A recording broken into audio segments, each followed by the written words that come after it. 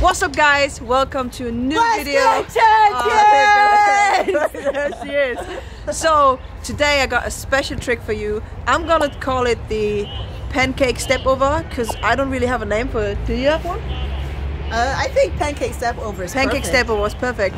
So the pancake step over looks like this. You juggle the ball, you leave your dominant foot on the floor, let the ball bounce on your dominant foot, step over your left one or your right one, and then juggle again. I'm gonna show you.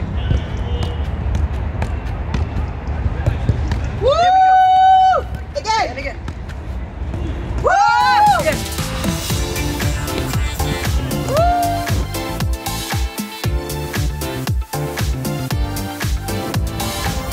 Nice!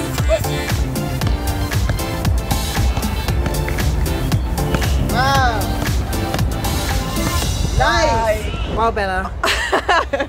you liked it, yeah? Beautiful. All I right, don't even think I can do it. That's why I was just in the background. Oh, well. I hope you guys like the, the trick as much as Eunice do. So yeah, if you like the video, if you like the trick, what should I do? Subscribe, Subscribe, like this video, thumbs up, comment, comment below, below.